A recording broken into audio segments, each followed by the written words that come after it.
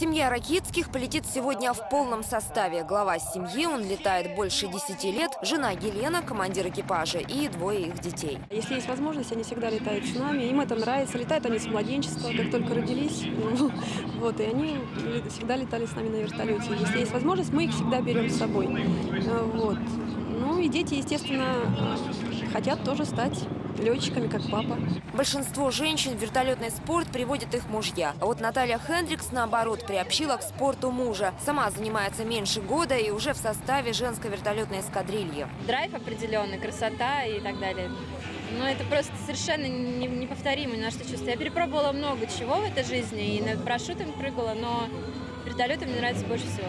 Семейным спортом вертолетный становится не случайно. Дорогое удовольствие лучше получать вдвоем, так дешевле. А главное, проще объяснить второй половине большие расходы. Во-первых, э, нужно обучение, это примерно около миллиона рублей. Сам вертолет это еще 400-600 тысяч.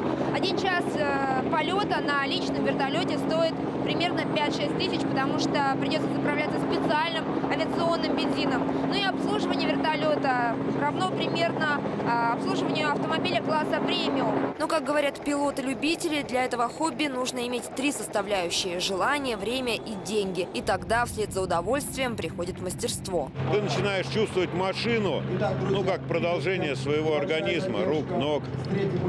И, собственно, ты себя, ты на себе чувствуешь, занимаясь вертолетным спортом, что Состояние полета также естественно для человеческого организма, как состояние ходьбы, бега, плавания. Уровень мастерства, то, насколько человек врос в свой вертолет, сегодня выясняли в честном поединке в четыре этапа. Главное из них – это полет на точность и посадка на линию. В двух этих дисциплинах нельзя отклоняться даже на миллиметр.